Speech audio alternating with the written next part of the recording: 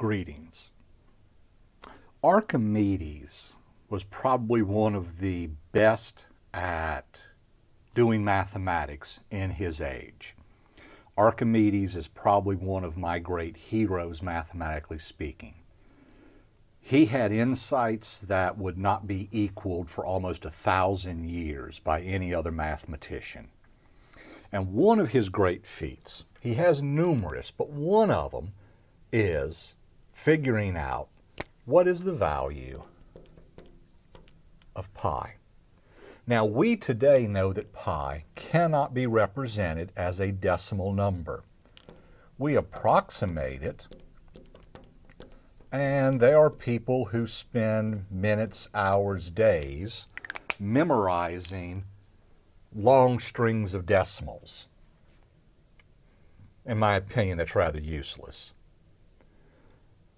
It's a number we're not going to know, not exactly but we can estimate it. And Archimedes is going to provide us with one of these great estimates. And he's going to do it two ways. He's first going to give us a number that he knows is too large, and he's also going to give us a number that he knows is too small. And what he's going to do is by having a number that is too large and one that is too small in size, what he's going to do is make this number approach the smaller number, and the smaller number is going to have to approach the larger number, and what has to be in between is where pi is. And so basically he's going to do what you learned how to do in calculus is use the squeeze theorem. He's going to squeeze as close as he can to what this value is by saying I can do something I know is larger, I'm doing something I know has to be smaller, but they've gotten so close together, you can't really tell the difference between them anymore, and therefore this must be between them. Let's watch what Archimedes, the great master, is going to do. And this is how Archimedes would go about it. Well, first off, understand that pi is a value that we are assuming relates to values. If I know how far it is around a circle and I know how far it is across the circle, pi is defined to be the distance around divided by the diameter. This is a definition. And this definition is very important for us to understand pi, we normally see this formula written this way. Circumference is pi times diameter. And we view it almost as a function where circumference is a function of diameter. This really is not the way we should even teach it.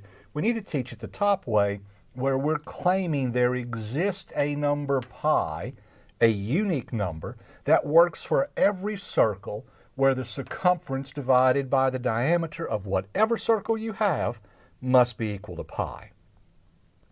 It just so happens we can now do some arithmetic at this level. So what Archimedes is going to do is he's going to begin by saying, I have a circle. At the edge of my circle, I'm going to have a diameter and I'm going to create a perpendicular, giving me a right angle. That's going to be very important for us. And then what Archimedes is going to do is he's going to give us some polygons to take a look at. So let's look at the first one. And here it is, the hexagon.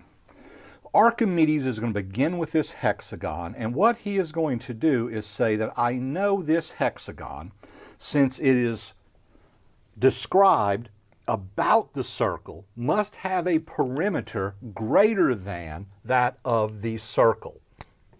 So he's saying the perimeter of a sixagon is greater than the circumference of this circle that we have.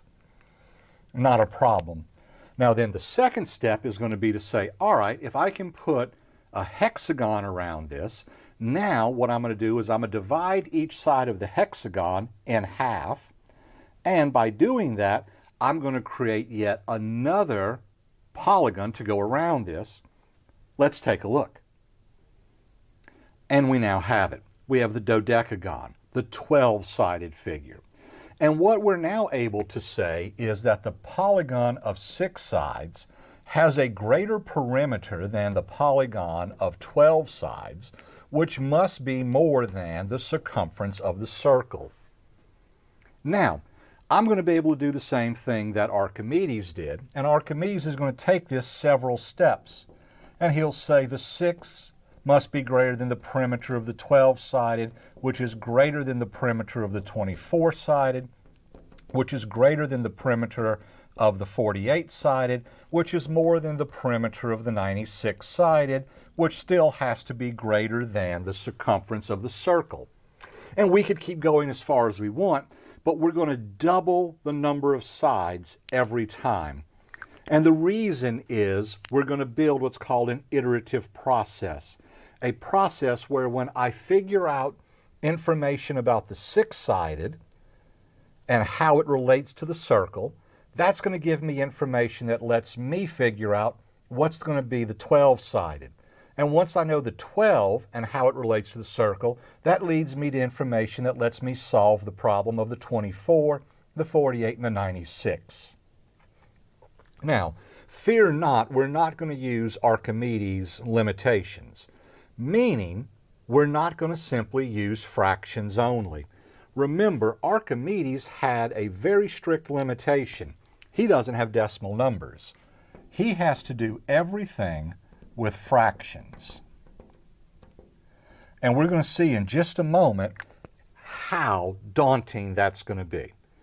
So let's come back and take a look at how do we actually going to solve this problem.